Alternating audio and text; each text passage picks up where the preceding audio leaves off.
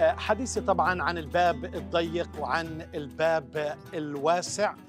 وشفنا إنه سياق الحديث بيتكلم عن إنه نحترز نتنبه نحذر من الأنبياء الكذبة واللي واضح ببين من الثمر من ثمارهم.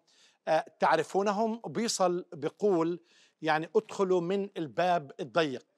الأنبياء الكذبة طبعا بتسهل الحياة على الناس.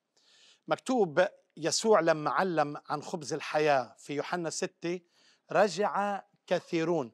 كمان أعطى الفرصة إنه التلاميذ إذا عاوزين يتركوا هذا شيء بيختلف عن اللي بنشوفه في الأنبياء الآخرون. المسيح مش عم بيسهل الحياة. فالباب الضيق أحبائي هو باب فعلا لازم تعمل قرار. والمسيح قال إن أراد أحد أن يتبعني فلينكر ذاته ويحمل صليبه كل يوم ويتبعني.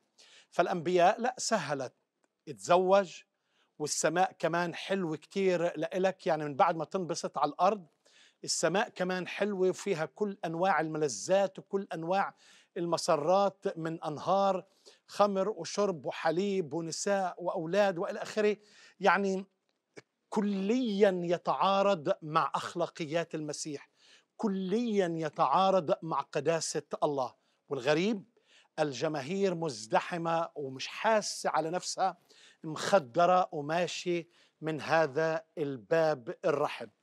فإذا الباب الرحب أحبائي هو باب سهل طريق تظهر مستقيمة لكن عاقبتها الموت.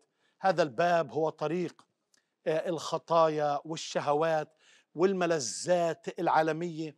والوعود الكاذبة من الأنبياء والوعود الكاذبة في أمور كثيرة إما بالحاضر أو بالمستقبل.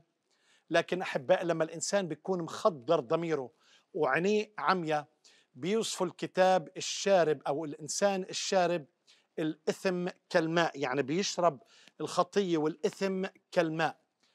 طريق السلام لم يعرفوه. الباب الواسع يؤدي إلى طريق رحب.